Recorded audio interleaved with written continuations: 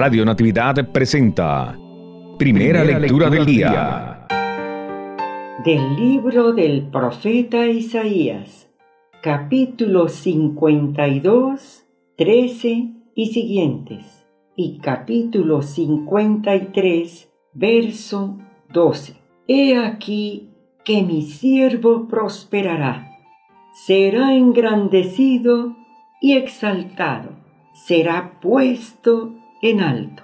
Muchos se horrorizaron al verlo, porque estaba desfigurado su semblante, que no tenía ya aspecto de hombre. Pero muchos pueblos se llenaron de asombro.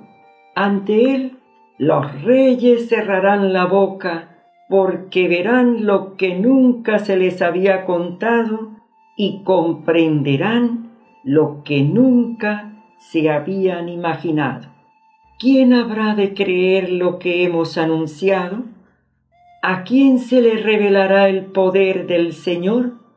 Creció en su presencia como planta débil, como una raíz en el desierto. No tenía gracia ni belleza.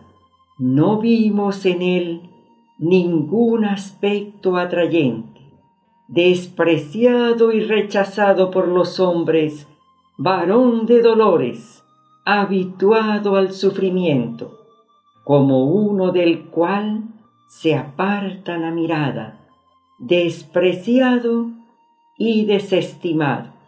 Él soportó nuestros sufrimientos y aguantó nuestros dolores.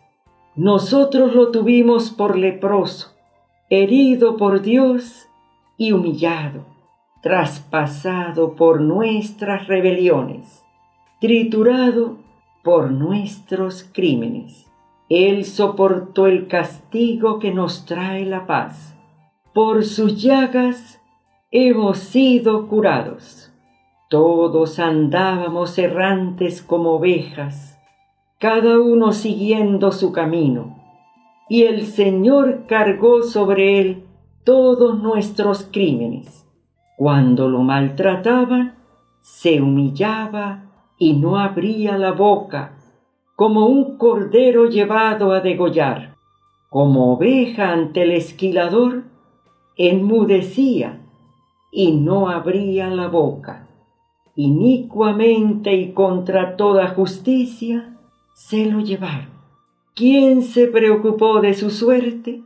Lo arrancaron de la tierra de los vivos, lo hirieron de muerte por los pecados de mi pueblo, le dieron sepultura con los malhechores a la hora de su muerte, aunque no había cometido crímenes, ni hubo engaño en su boca. El Señor quiso triturarlo con el sufrimiento. Cuando entregue su vida como expiación, verá sus descendientes, prolongará sus años y por medio de él prosperarán los designios del Señor. Por las fatigas de su alma verá la luz y se saciará.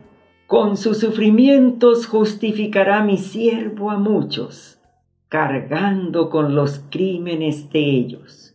Por eso le daré una parte entre los grandes y con los fuertes repartirá despojos, ya que indefenso se entregó a la muerte y fue contado entre los malhechores, cuando tomó sobre sí las culpas de todos e intercedió por los pecadores. Palabra de Dios te alabamos, Señor.